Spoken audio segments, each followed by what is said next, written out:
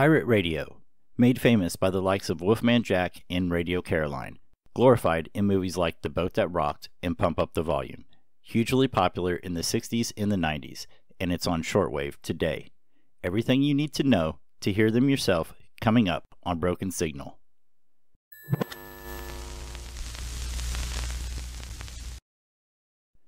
If you want to listen to Pirates on shortwave, you're going to need a radio capable of tuning the shortwave frequencies. I personally like to use SDR radio. The cost of entry can be as cheap as around $20. I put a link below to the RTL SDR USB dongle I started with. SDR has an advantage over traditional radios by letting you see a portion of the radio spectrum. This allows you to visually see stations that might start broadcasting even when you are tuned to another frequency. Pirates are illegal broadcast, and since they don't follow the laws of any country, they will transmit anywhere. But they do tend to congregate around certain frequencies. So, where can we find pirates? A very popular spot is centered around the frequency of 6925 kHz. But don't just look there, they typically show up between 6880 to 7000 kHz range. Another common range is 4020 to 4185 kHz. But remember, they can and do show up anywhere. Now we know where to look for pirates, you might ask, when do pirates broadcast? Transmissions can happen at any time, but we can increase our likelihood of catching a broadcast. The best time to listen is on weekends, and the best time is around the hours of 2200 UTC to 200 UTC.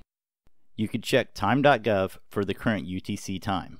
You have even a better chance of hearing a broadcast around holidays. Strangely, Halloween has historically been a favorite holiday for pirates. I would have thought it would have been Talk Like a Pirate Day. So, what can you expect to hear? This is what makes pirate radio great and fascinating. Without having the rules of what your playlist must contain, pirates will transmit whatever songs they like. Usually, they will choose a theme, for instance, hot or love, and all songs will be about or mention this theme. Or they may just play a genre of music like classical rock, jazz, or blues. Some pirates may not play music at all and instead broadcast a story or talk radio type format. Some will even play strange noises. Anything goes with pirates. Many pirates like to send slow scan television, or simply SSTV, which is transmitting images over the radio. If you have the software to decode the digital signal, you can view the images they send. I have put a link below to a video to learn more about SSTV and how to receive the images. If you've been trying to catch a broadcast but have had no luck, there is a great resource to improve your odds. If you browse to hfunderground.com, they have a great forum with a subforum dedicated to pirate radio.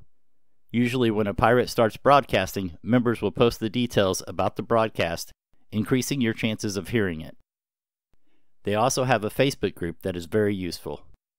Now let's listen to some examples of what you could hear on pirate radio. License to smack. Hooray Radio.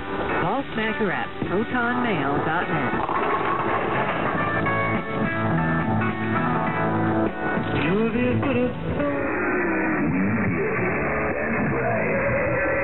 Hey, you're tuned in to Psycho Radio. That's right. Modulating here and there and everywhere. This is a open frequency, kind of like any port nest storm. they get some funny noises oh, there, Brad. Yeah, they get some funny noises. Ah! well, we hope you enjoyed the show, friends. Gold the Radio, signing off. And uh, thank you for being there. If you actually uh, were there, were you actually there?